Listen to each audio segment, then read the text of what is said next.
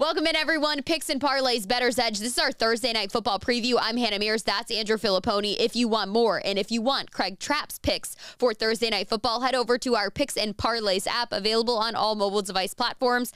Pony, we've got the Lions and the Packers. This is an exciting game that everyone's ready to see. I really couldn't tell you at this point who I think is going to win this game. I'm a little nervous about this one okay. as a whole. If I had to maybe lean towards something, it might be the Packers, surprisingly. Uh, what do you think? Though. The Packers are the underdog. Well, maybe my pick will help guide you because I have been so bad on Thursday night football. I am not. I've been good. I am not above uh, saying I am fade material. I'm winless on these Thursday night football picks. So take what I'm going to say and do the exact opposite for these games. Uh, I like the Packers here. Uh, so I'm going to give you that pick, Hannah. I like the Packers to win this game.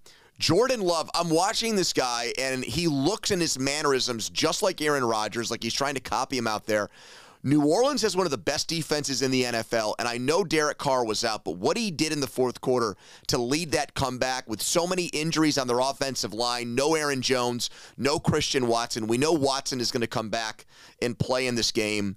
Yeah, this is a revenge spot after Detroit kept the Packers out of the playoffs in week 18 last year. It's a coin flip but I'm going to take the heads that has the Green Bay logo on it and take the Packers in a close one Thursday night actually like the Packers too, so maybe that scares me because you've done so poorly. But mm-hmm. I've done pretty good, so maybe this will bring us some good luck. But my best bet in this one is going to be look at Jordan Love's rushing total. It's sitting at 14 right now. I'm going to say Jordan Love over 14 rushing yards in this game. He's second in rushing yards on the team right now with 74. I think against the Lions pass rush, he might have to be forced to run the ball a bit.